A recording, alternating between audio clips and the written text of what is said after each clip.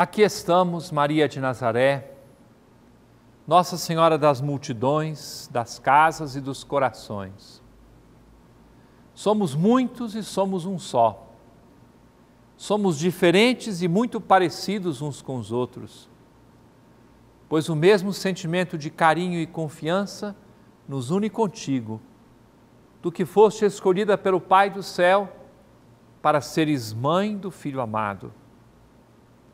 Aquele dia em Nazaré, teu silêncio de menina, formada na fidelidade às promessas antigas, tornou-se resposta que ecoa pelos séculos e vai conosco até a eternidade. Em ti, Maria de Nazaré, nós reconhecemos a esperança de todos os povos. Em Nazaré, Deus ouviu nosso sim ao seu plano de salvação para todos os homens e mulheres de todos os tempos. Deus nos levou a sério. E te fizeste mãe em Belém de Judá, pequena entre muitas cidades, que se fez grande, porque de lá se levantou o Salvador, aquele que é a nossa paz. Em Belém te fizeste mãe, de Belém nascemos nós do forte do presépio brotou outra menina, cidade grande de quase 400 anos. E aqui se ajuntaram multidões, rios de gente que acorrem a esta terra, apenas para se encantarem com as crianças que teimam em não crescer e chamar-te lírio mimoso. Sem medo de chorar diante dos outros, sorrir, clamar e gritar vivas Mãe de Nazaré e de Belém, somos afeto, emoção e carinho para correr atrás de tua imagem, novamente peregrinos, romeiros, filhos e irmãos. Queremos hoje olhar para ti. Nos séculos que se passaram, tua imagem, obra de arte da qual todos nos sentimos autores, tem um menino no braço o outro braço está pronto para acolher, livre para amar os muitos filhos que a ti acorrem. Queremos pedir-te colo de mãe para todos os que se reconhecem filhos. É que aos pés da cruz do teu filho, um apóstolo era nosso representante, e tu nos recebeste como filhos para acompanhares a igreja em sua peregrinação da fé até o final dos tempos. Neste Sírio de Nazaré, queremos, ó Mãe, assumir o nosso lugar. Em teu colo de mãe, queremos espaço para os que estão mais distantes, ainda que próximos uns dos outros, no empurra-empurra do dia a dia. Teste, ó Mãe admirável, cordas de amor que alcancem todos os que se afastaram da igreja e os que estão mergulhados na lama do pecado, para que voltem a Jesus. Olha para todas as pessoas que clamam por bondade, Mãe de misericórdia, e roga por todos nós pecadores, agora e na hora de nossa morte. Nossa Senhora de Belém, tu que trouxeste aos braços o Deus que se fez carne, recebe as nossas crianças. Cuida com carinho daquelas que ainda esperam generosidade de seus pais e mães para nascerem. Faze com que nosso tempo descubra de novo que filho é bênção. De teu filho amado, pede a bênção para os que são filhos e filhas em nossas famílias Contempla do céu, Senhora de Nazaré, as muitas imagens retratadas em mãos e mães, que se estendem confiantes, mostrando fotografias recentes e antigas, pois para as mães, os filhos são sempre meninos e meninas, mesmo quando crescem. Como visitaste tua prima Isabel, tua presença amiga faça exultar de alegria todos os que se sentem filhos nossa Senhora da Piedade, Senhora das dores e da consolação, recebe em teu braço o mistério do sofrimento humano. Doenças do corpo e da alma, angústias, divisões nas famílias, gritos surdos que teimam em se fazer vivos, ou quem sabe, silêncio marcado por revoltas e perguntas sem resposta. Acolhe os olhares angustiados, as mãos calejadas, os pés machucados, a fadiga do dia a dia, os homens e mulheres sem esperança, a falta de recursos e de trabalho, os passos errantes de tantas pessoas que no Sírio encontram de novo o alento. Rainha das famílias, recebe na Nazaré de hoje as nossas famílias. Ajuda-nos com tua oração ao Filho amado a levar do Sírio para nossas casas a certeza de que não estamos sozinhos mas somos a grande família dos filhos de Deus. Em teu colo de mãe, os casais renovem seus laços matrimoniais, os filhos encontrem afeto, a chama do amor não se apague em nossas casas. Nossa Senhora das Mãos Estendidas, olha para tantas mãos que se elevam no círio de Nazaré, mãos delicadas ou feridas, mãos que se unem ou mãos que se apartam, mãos que recebem e expressam os impulsos do coração. Estende a tua mão e acolhe com bondade os que querem conhecer e amar Jesus. Maria de Nazaré, Maria, mãe da igreja, Nossa Senhora da Esperança, somos igreja peregrina que quer ser fiel ao teu filho amado Desejamos professar e renovar a fé que recebemos no batismo. Queremos contar a todos a boa nova do Evangelho e caminhar na esperança para que toda a nossa vida seja sinal do reino de Deus. Toda a nossa vida seja para o louvor e a glória de Deus. Queremos caminhar juntos, peregrinos da fé, ao Pai, por Cristo, no Espírito Santo com Maria e do jeito de Maria. Amém. Conversa com o meu povo. Nós hoje começamos conversando com Nossa Senhora. Eu quis fazer uma conversa de família com ela. Durante o Círio de Nazaré, todos poderão receber esta conversa que tive com Nossa Senhora. Você se recorda que no ano atrasado foi uma conversa com a Virgem de Nazaré. No ano passado era conversa ingênua com Nossa Senhora de Nazaré. Neste ano era uma conversa de família.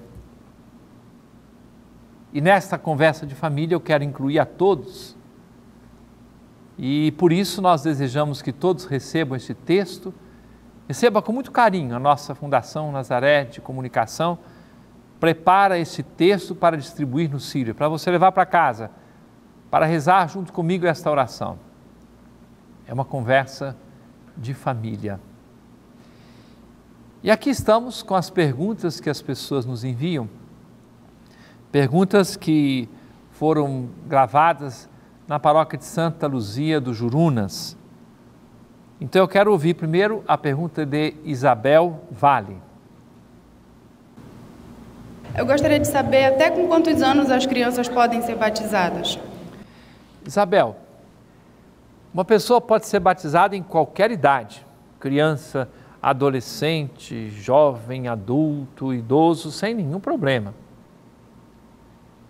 Nós sabemos que hoje existe um belo desafio que a igreja procura enfrentar, é dar à própria catequese uma perspectiva de iniciação cristã.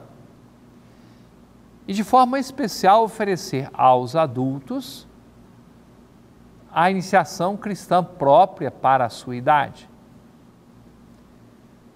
Uma criança pode ser batizada.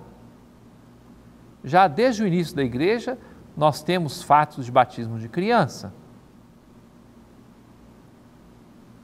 A criança, quando é batizada pequenininha, é batizada na fé dos pais e padrinhos. Se ela está maior em idade de catequese, nós recomendamos que ela seja preparada na própria catequese e depois receba o sacramento do batismo e receba a primeira Eucaristia. Não existe uma idade limite para a, o batismo da criança ou do adolescente ou do jovem ou adulto. É importante que a pessoa, sentindo-se chamada a esta graça, que é a mais importante da vida, ela se prepare e seja então acolhida na vida da igreja. Maria Célia dos Santos, também da paróquia de Santa Luzia, nos faz uma pergunta. Ah, Dom Alberto, queria saber o que eu poderia fazer para a nossa paróquia da Santa Luzia. Muito obrigado, Maria Célia. Eu penso que nós queremos fazer tudo que estiver ao nosso alcance para as diversas paróquias. Tenha certeza de que a presença do Padre Roberto, o pároco, está sendo a grande contribuição da Arquidiocese para a Paróquia Santa Luzia. Só tenho recebido notícias boas da Paróquia Santa Luzia. Cada cristão católico é o presente da igreja para a sua própria paróquia. E a paróquia vai se organizando cada vez mais, consolidando as suas estruturas, trabalhando para a evangelização, para a formação das pessoas, criando um espírito de oração. Penso que a paróquia, graças a Deus, está caminhando muito bem. E acho que o que a gente pode fazer exatamente está unido a todas as paróquias também em Santa Luzia, neste esforço de anúncio da palavra de Deus a todos. Quero ouvir agora a pergunta de Rosângela Moraes. Trabalho na catequese e na missão de, do projeto Belém Missão. E a gente gostaria de saber é, sobre é, a Assembleia Arquidiocesana, que acontece agora em novembro, né? E nós queríamos saber de que forma é que vai acontecer a Assembleia Arquidiocesana. Muito obrigado pela sua pergunta, Rosângela. Nossa Assembleia Arquidiocesana de Pastoral acontecerá no terceiro final de semana do mês de novembro. Foi preparada com muito carinho. Todas as paróquias, pastorais, movimentos, grupos, serviços, todos receberam a convocação para a Assembleia, perguntas, um texto para ser estudado. Agora as paróquias já realizaram ou realizam as suas pré-assembleias, também as regiões pastorais, de tal forma que essa Assembleia Arquidiocesana de Pastoral, que gerará o próximo plano de pastoral da nossa Arquidiocese de Belém, está em andamento nós pedimos muito a oração de todos. Cada paróquia recebe nesses dias uma circular com as orientações a respeito da representatividade em nossa Assembleia Arquidiocesana. Nós teremos dois dias lá no Centro de Cultura e Formação Cristã, nós teremos o acontecimento da Assembleia cerca de 600 participantes ao todo, delegados de todas as forças vivas de nossa arquidiocese, ali estarão presentes para nós recebermos esta contribuição de reflexão que nos possibilite perguntar os rumos que queremos é, perseguir, procurar nos próximos anos em nossa arquidiocese. Nós teremos um plano de pastoral para 2013, 2014, 2015 e 2016.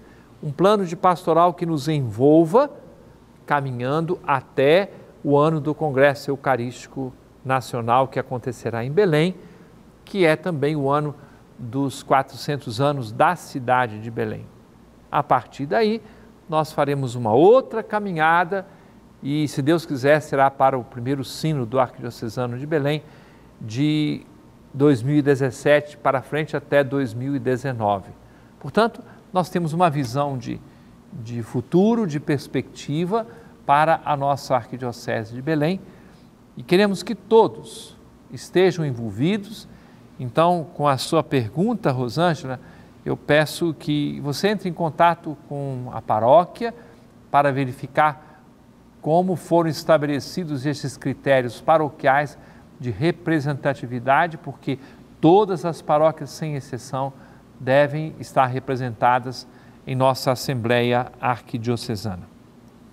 A próxima pergunta é de Aline Castro. Gostaria de saber, Dom Alberto, quais projetos a nossa igreja de Belém tem para a recuperação dos nossos jovens drogados, pois no nosso bairro vivenciamos grande perda das nossas crianças e jovens para o tráfico de drogas e outras questões. Quais projetos, quais ações a Igreja de Belém tem para a recuperação desses jovens e para evitar que os nossos jovens e crianças sejam inseridos nesse mundo de criminalização, de marginalização diante da sociedade? Muito obrigado, Aline, pela sua pergunta, que é muito importante. Nós consideramos todo o trabalho de evangelização feito pela igreja como atitude preventiva em relação ao problema de drogas e de vícios em geral.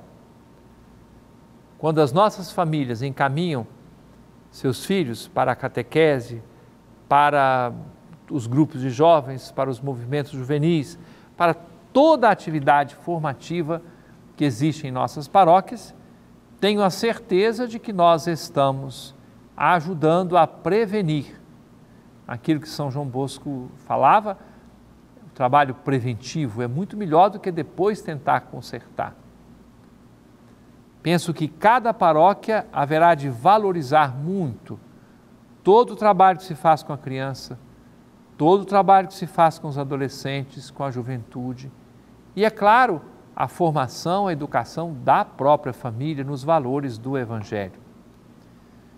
Quando você faz uma pergunta do trabalho com os, as pessoas que precisam ser recuperadas, eu já dei notícia anteriormente, nós, se Deus quiser, instalaremos na nossa arquidiocese a Fazenda da Esperança.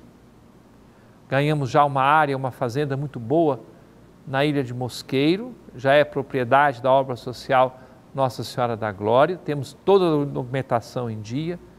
Agora estamos envidando os nossos esforços para fazer a estrada necessária, o acesso mais fácil à área onde será a Fazenda da Esperança e também para que chegue lá a linha de energia elétrica.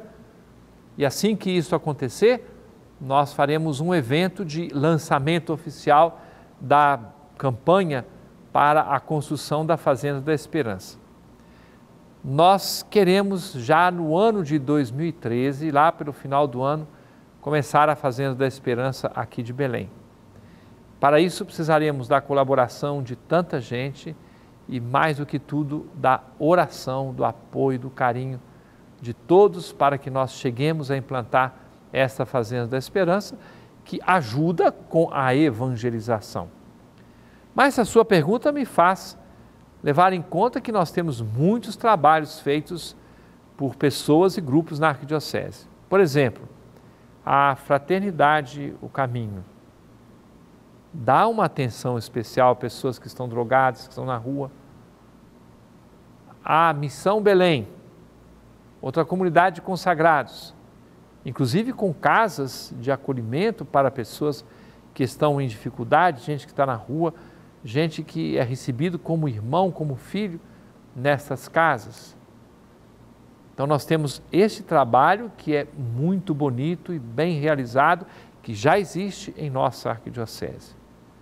Além do trabalho realizado pelas diversas obras sociais, pelos núcleos da Caritas em nossas paróquias.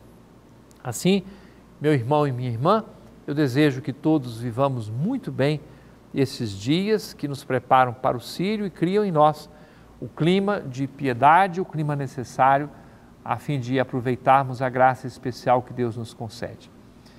Quero recordar que amanhã é dia de eleição e nós todos, como cidadãos e cidadãs, seremos chamados a dar nossa participação naquilo que é um direito e um dever da cidadania ao votar eh, nas, nessas eleições para os candidatos a prefeito e a vereadores em nossa cidade. Que Deus abençoe e que o Espírito Santo nos conduza neste processo eleitoral. Abençoe-vos o Deus Todo-Poderoso, Pai, Filho e Espírito Santo. Amém.